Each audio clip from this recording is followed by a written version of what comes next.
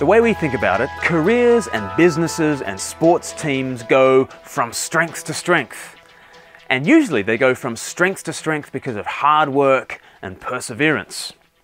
But in Psalm 84, where this phrase actually comes from, both of those assumptions are challenged. First of all, it is God's people who go from strength to strength. Uh, now, isn't that an attractive thought? That actually it's people who go from strength to strength. We speak of impersonal things like the stock market going from strength to strength. But our experience of our own lives is often the very opposite. You know, in our green salad days, we might be full of life and vitality, but isn't it true that we go from strength to weakness? Isn't that our trajectory? That's the human condition, right? There's strength in our youth and then weakness as we age. So, how can we go from strength to strength? Such a trajectory goes against everything we know in nature. Well, listen to the context in Psalm 84 from verse 5. Psalm 84 from verse 5 Blessed are those whose strength is in you, Lord, whose hearts are set on pilgrimage. And then verse 7 Such people, they go from strength to strength till each appears before God in Zion. Notice how the believer is strong. Their strength is in God. And what does that mean for their strength to be in God? Well, consider this as an example. Uh, a guy comes to you and he says he's rich, okay? Now, you might expect that his riches are in his possession. But he says to you, no, no, my wealth is in my father's bank account. What's more, this money is earning interest. And one day it will come into my name.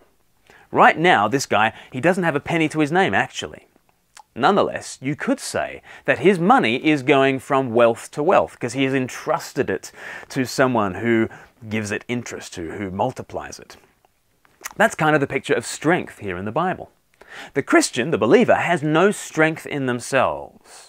Indeed, we step out into the world looking just like our Lord. We, we turn the other cheek, we walk the extra mile, we forgive our enemies, we answer evil with blessing. All of that looks very weak, doesn't it? Very weak. But actually, we have entrusted our strength to a Lord who, by his cross and resurrection, he knows how to turn such weakness into strength. So then, in all our weakness, our prayer is Psalm 84, verse 9. O God, look on our shield. Look with favor on your anointed one. Our strength is not in ourselves. We do not protect ourselves, but we have a shield in heaven who is strong enough for all of us. Another name for him is our anointed one, our Messiah. And he is our protection, he is our strength. So he is the one to whom we look. Just as the Father entrusts all things to Christ, so we entrust ourselves, our strength, to Him. And that frees us up to look weak in this world. This is what Paul wrote in uh, 2 Timothy chapter 1 verse 12.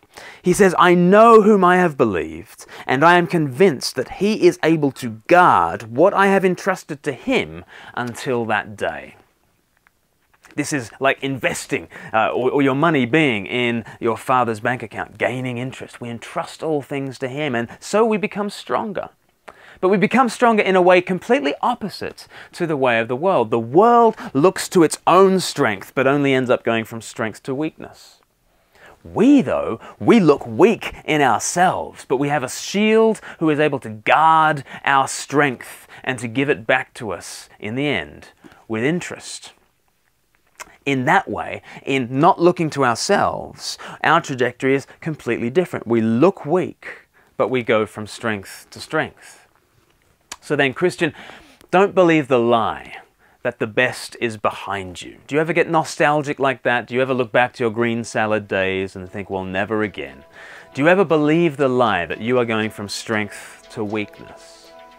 That cannot be true if Christ is your strength. So then, as Paul says in 2 Corinthians chapter 3 verse 16, he says, "We do not lose heart. Though our outer self is wasting away, our inner self is being renewed day by day." Christian, in Christ, every day you are going from strength to strength.